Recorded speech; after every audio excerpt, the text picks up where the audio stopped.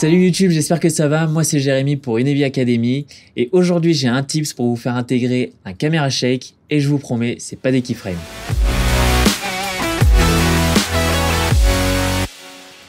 Alors il existe différentes manières d'intégrer un caméra shake. La plus commune c'est justement avec des keyframes, on vient animer la position. Mais c'est souvent long, c'est souvent fastidieux et le résultat n'est pas tout le temps là. Et aujourd'hui, ce que je vous propose, c'est un tips où c'est vous qui allez intégrer le caméra shake de manière organique. Et je dis organique parce qu'en fait, vous allez prendre une caméra. Alors la caméra qui a servi à enregistrer le premier rush ou un iPhone ou un deuxième boîtier, enfin peu importe, mais une autre manière d'enregistrer l'image. Et vous allez enregistrer ce mouvement-là en vrai.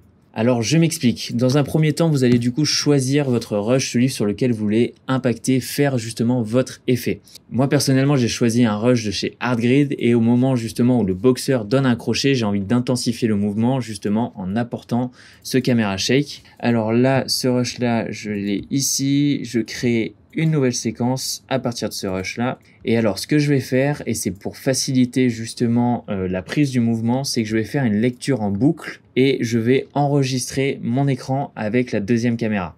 Mais avant toute chose, avant d'enregistrer quoi que ce soit, il y a deux choses réellement à prendre en compte. La première chose, c'est essayer de faire matcher la longueur focale avec laquelle vous allez enregistrer votre mouvement de caméra et la longueur focale de votre premier rush. En gros, si vous avez une longueur focale qui est trop large, type un 16 mm, ben le mouvement de caméra apparaîtra trop petit.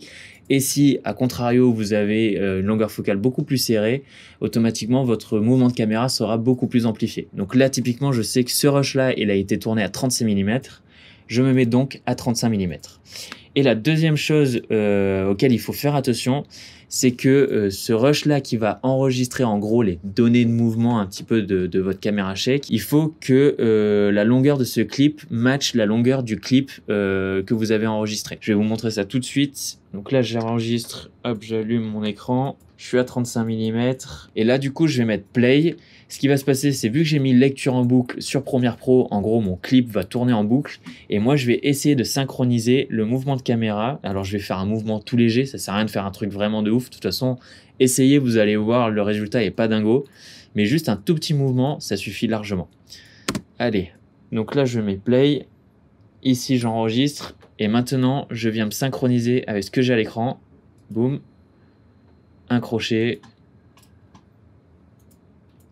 tac, un petit bout. Je vais essayer de faire un mouvement de caméra un peu moins gros. Hop. Et un dernier pour la route. Voilà. Et là, je vais bien jusqu'au bout de mon rush. Et alors là, vous allez voir, c'est ultra simple. Hop, carte SD, ça va ici. Allez. Hop, je mets cette vidéo du coup dans Première. Voilà je la fais rentrer dans ma timeline ici. Alors automatiquement c'est une timeline en 1080, donc là je vais devoir descendre. Je vais mettre par exemple à 55. Ensuite, je vais du coup sélectionner euh, un moment avec un caméra shake qui m'intéresse bien. Ouais, le dernier est pas mal. Du coup, je vais prendre le dernier par exemple. Et c'est là justement tout l'intérêt d'enregistrer son écran pour faire le mouvement de caméra. C'est parce que vous allez pouvoir remonter en fait pile poil image par image au début du clip et faire matcher parfaitement justement bah, vos deux clips ensemble dans la durée. Là, j'ai le mouvement de caméra et j'arrive à la fin du clip ici. Hop, dernière image. Hop. Alors, la technique ultra simple, vous faites un briquet. Ici, Caméra shake. Ensuite, je vais chercher du coup mon effet stabilisation. C'est un petit peu contre-intuitif, mais oui, on va introduire un caméra shake avec l'effet stabilisation. Je laisse faire première son petit truc. Et ensuite, du coup, hop, vous allez voir, je prends mon rush de base du coup de mon boxeur, je double-clique dans ma séquence imbriquée, ce qui m'amène dans la séquence de base. Je colle mon rush de boxeur et je viens le mettre au-dessus. Là, vu qu'en effet j'ai sélectionné euh, un in et un out euh, juste avant, ben, en fait la longueur ben, match parfaitement.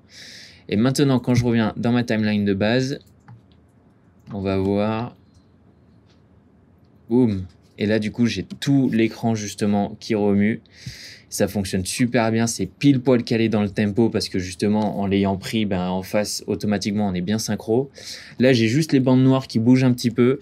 Donc, ce que je peux faire, c'est venir rescaler un petit peu mon image. Hop, je l'augmente jusqu'à ce que je n'ai plus les bandes noires. Et voilà. Et là, bam, ça fonctionne super bien. Et donc euh, voilà, cette technique, en gros, elle peut être utilisée pour plein d'autres manières. Typiquement, vous avez un plan trépied, vous voulez introduire un tout petit motion effet main levée, bah, vous prenez justement votre caméra à main levée et vous pouvez du coup faire la même chose et votre plan trépied se transformera en plan à main levée.